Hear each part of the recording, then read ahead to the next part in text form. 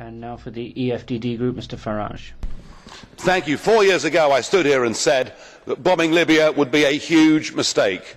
Uh, but of course the UK Parliament and this Parliament were desperate. There was a clamour uh, to go to war. And so now we have a failed state of Libya. Uh, which is now a conduit being used for criminal trafficking gangs trying to bring people to Europe.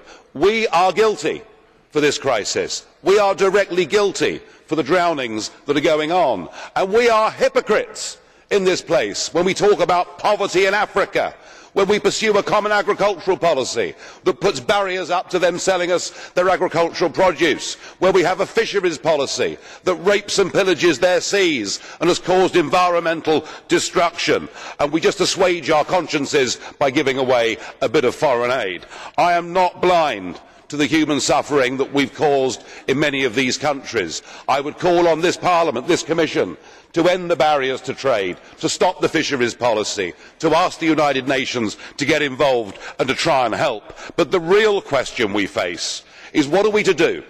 Are we to go down the Australian system in dealing with this crisis? And indeed, the Australian Premier, Tony Abbott, has offered us his advice and help.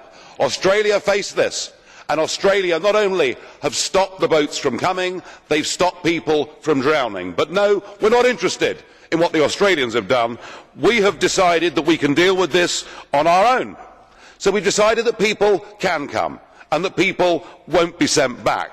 Now, i suspect that it is a shock and will be a hell of a shock uh, to many european citizens including the british to understand that we have already agreed a common european asylum system what today is about and today's resolution is the direct implementation of it. the problem ladies and gentlemen is this the definitions for who qualifies for asylum are so wide they include not just people coming from war not just people coming from failed states mr juncker this morning seemed to suggest that perhaps it would even include people who were fleeing poverty.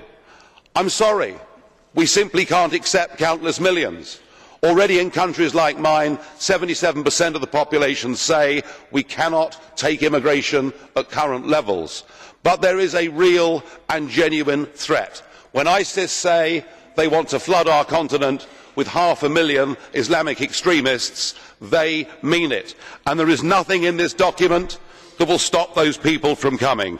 indeed i fear we face a direct threat to our civilisation if we allow large numbers of people from that war torn region into europe.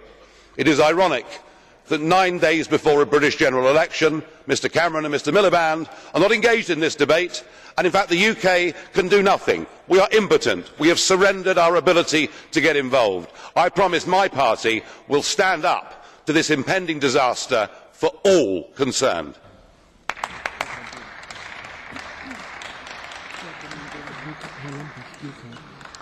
Herr Lamberts, Sie wollten eine Frage stellen.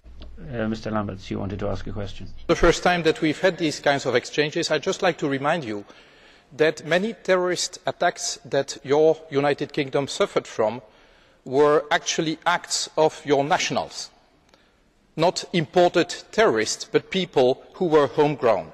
So I'm not sure that any of your answers is an answer to that issue. Thank you.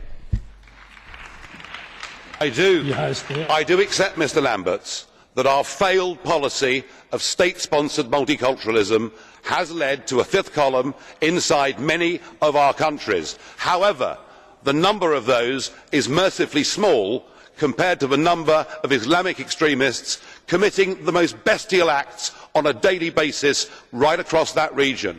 this policy has no means and no way of filtering out extremists in favour of people fleeing in genuine fear of their lives and as such we are making a massive mistake. let us follow the example of australia. let us do everything we can to reverse the hypocrisy of groups like yours that have voted to make africa poorer. let us do those things but if the message is that anybody that comes will be accepted we are headed for disaster.